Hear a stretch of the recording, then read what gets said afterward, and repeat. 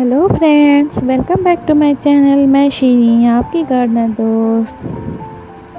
Friends, ये रियो plant है। इसे बोट लिली भी कहते हैं। वेरी इजी ग्रोइंग प्लांट है। देखें कितने बेबी प्लांट इसमें निकले हुए हैं।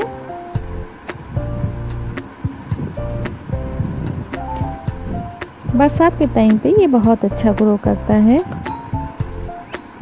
इसमें कलर वेरिएशन होते हैं इसके लीव्स में, इसलिए बहुत ही प्यारा लगता है। देखिए नीचे से कितना पर्पल कलर कितना प्यारा लग रहा है। ऊपर से ग्रीन देखने में लगता है और नीचे से ये पर्पल है। इसे रियो डिस्कलरिस कहते हैं। और ये जो है मेरे हाथ में, इसे ट्राई कलर कहते हैं। रियो ट्राई कलर क्योंकि इसमें तीन कलर होते हैं वाइट ग्रीन और पिंक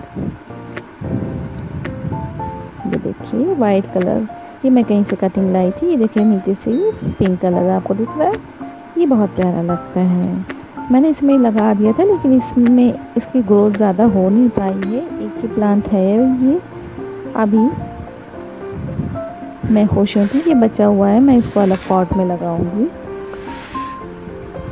तो फ्रेंड्स आज मैं इसको प्रोपेगेट करके आपको दिखाऊँगी कि इसका प्रोपोगेशन कैसे किया जाता है। आप कहीं से भी एक प्लांट ले आएँ और उसे आप लगा लें तो फिर आपके घर में ये कहीं नहीं जाने वाला।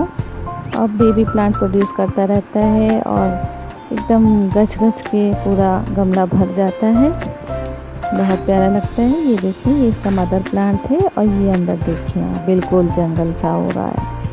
देखें कितने बेबी प्लांट निकले हुए हैं कैसा लुक आ रहा है जैसे जंगल सा। बहुत सारे प्लांट बेबी प्लांट निकले हुए हैं मैं निकाल के आपको दिखाती हूँ, ये देखिए।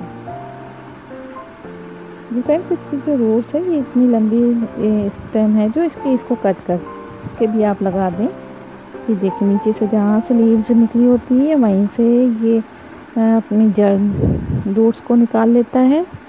ये देखिए, सब रूट्स निकली हुई हैं। यहीं से ये रूट्स को निकाल लेगा। आप चाहें तो ये इतनी लंबी स्टेम इसकी काट के हटा दें।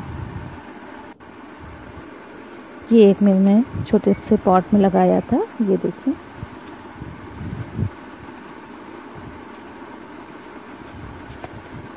कितना अच्छा इसका रूट बाउंड आप देख रहे हैं, कितना अच्छा है और कितनी अच्छी इसकी ग्रोथ हो रही है। थोड़ी सी मिट्टी में ये लगा हुआ है और फिर भी देखिए कितनी, कितने बेबी प्लांट इसने बनाए हुए हैं। तो फ्रेंड्स आप बिल्कुल भी वो ना हो, इसको आराम से इसका प्रोपगेशन करें। कोई टेंशन नहीं है, कहीं से भी आप इसको कट कर लें, कहीं से भी लगा दें, ये मरता नहीं है जल्दी।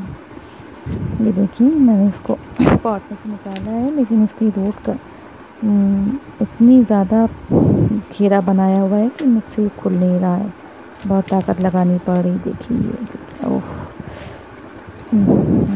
ये देखिए कितनी ज़्यादा रोड्स हैं। अब मैं इनकी रोड्स को सभी को निकाल करके हटा दूँगी, क्योंकि कोई ज़रूरत नहीं है रोड्स की। आप कहीं से भी इन्हें लगा दें, ये वहीं से अपने रोड्स को निकालना शुरू कर देते हैं।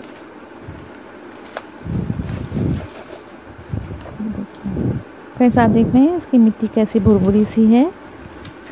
ऐसी सॉइल आप भी बनाएँ इसकी और उसमें सैंड थोड़ा ज़्यादा ऐड कर लें क्योंकि फ्रेंड्स इसको सॉगी जो सॉइल होती है ना, वो पसंद नहीं होती है। बस इसमें ओवर वाटरिंग और सॉगी सॉइल नहीं हो तो ये आपके घर में कभी भी ये डेड नहीं होगा। देखिए मैंने किसी पे कटिंग लगाई थी, ये है उसका मदर प्लांट आज मैं इसको आपको लगा कर दिखाऊँगी। बेबी प्लांट मैं देखती हूँ कि इन सबको कहाँ लगाना है। इतने सारे हैं, अब इनको कहाँ मैं लगाऊँगी? मेरे पास ऑलरेडी कई पॉट में लगे हुए हैं।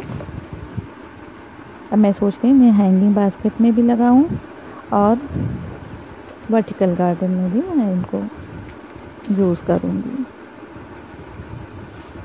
इस तरह से आप एक एक करके कहीं से भी इन्हें निकाल लें। रूट्स की तो ज़रूरत ही नहीं है। कहीं से भी आप कहीं से निकाल लें, कैसे भी लगा दें, वो वहीं से रूट्स अपने निकाल लेते हैं। ये जो लंबी लंबी इतनी देख रहे हैं आप नीचे से कट कर दीजिए, क्योंकि नीचे से लीव्स हैं नहीं अच्छा नहीं लगेगा। इनको कट करके हटा दीजिएगा नीचे का हिस्सा फिर जहाँ से दिल जाए, वहाँ से आप लगा लीजिएगा सब अलग कर देती हैं। सब अलग हो गए। अब ये इतने बेबी प्लांट हैं आपके पास। अब आप चाहें इन्हें जहाँ लगाएँ ग्राउंड कवर पे लगा लगा दें आपके घर में कोई बड़ा पेड़ हो, उसके किनारे किनारे लगा दें, क्यारी में किनारे किनारे लगा दें। फ्रेंड्स ये रॉक गार्डन में भी काम आता है, जो रॉक्स के बीच में इनको लगा दें तो वहाँ पर भी अच्छे ग्रो करते हैं और बहुत प्यारे लगते हैं। ये बेबी प्लांट है इसका।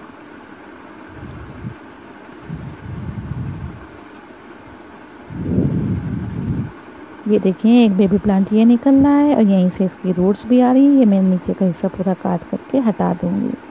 और मैं लगा दूँगी। ये ट्राई कलर वाला है, मैं इसको एक सेपरेट पॉट में लगाऊँगी ताकि इसकी अच्छी ग्रोथ हो, क्योंकि मेरे पास ये एक ही प्लांट है।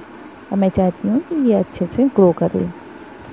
फ्रेंड्स, इसे फर्टिलाइज़र की इतनी ज़्यादा ज़रूरत होती नहीं, आप कंपोस्ट भी दे सकते हैं, आप इसे गोबर की खाद भी दे सकते हैं।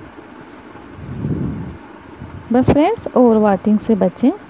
हफ़्ते में एक बार इसे आप पानी दे दें, इसके लिए काफ़ी होगा। अब मैं इस मदर प्लांट को आपको लगा के दिखाती हूँ कि कैसे लगाया जाता है।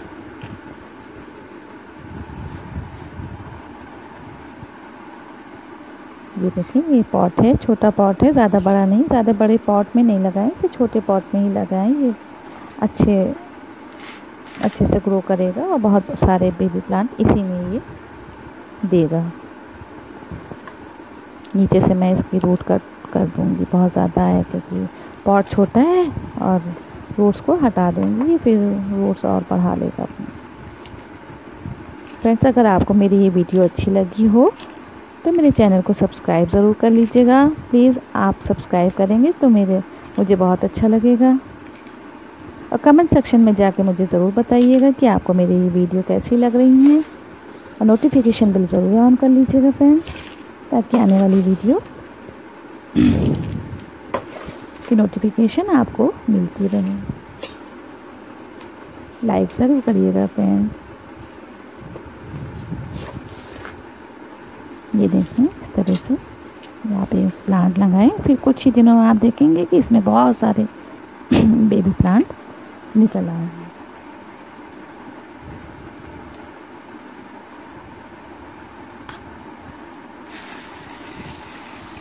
इसमें किसी भी तरह के पेट्स अटैक होते नहीं हैं। बिल्कुल किसी भी तरह के वरना वायरस, पेट्स, किसी भी तरह की डिज़ीज़ इसमें नहीं होती है।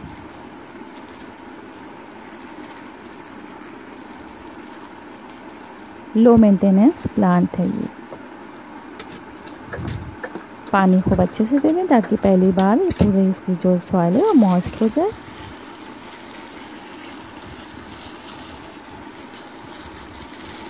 देखें आप इसे गोबर की खाद दें N P K nineteen nineteen भी आप आधा चम्मच घोल करके एक लीटर पानी में आप इसमें दे दे सकते हैं फ्रेंड्स इस टाइम इसको ज़रूरत है।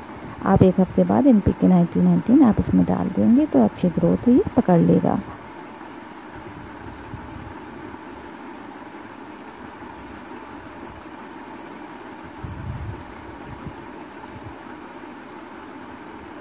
देखिए, ऊपर से कितना अच्छा लग रहा है। इसके लीव्स देख रहे हैं, कितनी ग्लॉसी कितनी अच्छी सी हैं।